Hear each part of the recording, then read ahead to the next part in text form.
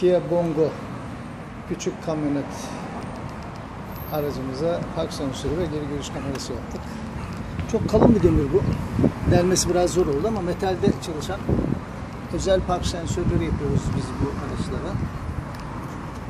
İçten tesisatın gidişine de şöyle bir görüntü vereyim. Yaptığımız kablo bağlantıları.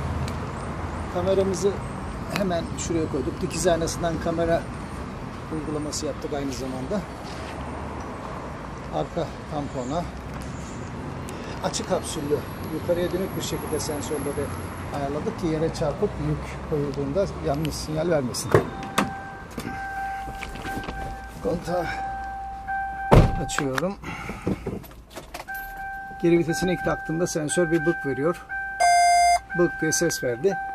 Kameramızın görüntüsü de bu şekilde. Gündüz gün ışığında biraz yansıma yapar kamera. Ama görüntüsü mükemmel. Gayet güzel. Plaka lambasına da kerteriz almak için içeriye koyduk özellikle.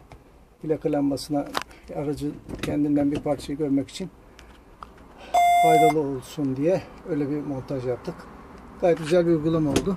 Sesli park sensörü ve 5 inç dikiz aynasından geri görüş kamerası uyguladık. Kia Bongo kamera aracımıza bu tür uygulamaların satış ve montajını yapıyoruz. Video altındaki iletişim bilgilerinden bizimle bağlantı kurabilirsiniz.